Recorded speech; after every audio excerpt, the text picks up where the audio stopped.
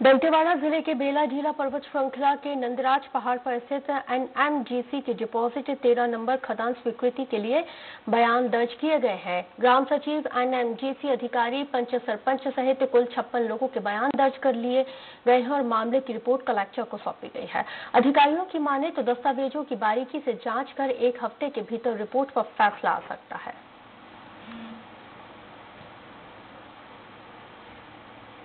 लोगों को नोटिस जारी किया कि समाज पच्चीस लोग जिन्होंने अपना बयान दर्ज कराया है निश्चित तौर से आप लोगों का जो जितना बयान होना तो हो गया है आप आगे के लिए डॉक्यूमेंट से संबंधित आगे कार्रवाई होगी और जाँच रिपोर्ट तैयार की जाएगी